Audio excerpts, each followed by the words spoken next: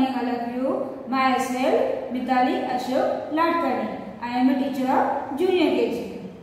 Morning. Today I will teach you poem. Family fun. Family fun. Mom and me, mom and me,